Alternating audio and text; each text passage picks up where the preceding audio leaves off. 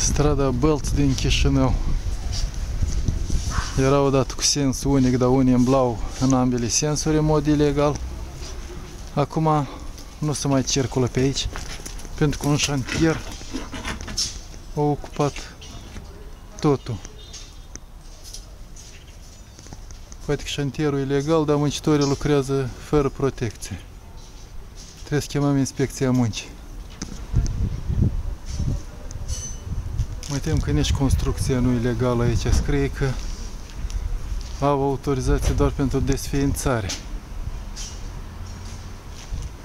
Dar cum în Moldova oricine face orice, ce vrea, iată că strada e ocupată sinedie, pe vecie, și doar că nu sar baloanele astea în aer, sau o să moară vreun muncitor pe șantier, atunci o să intervină autoritățile și o să caute vinovat.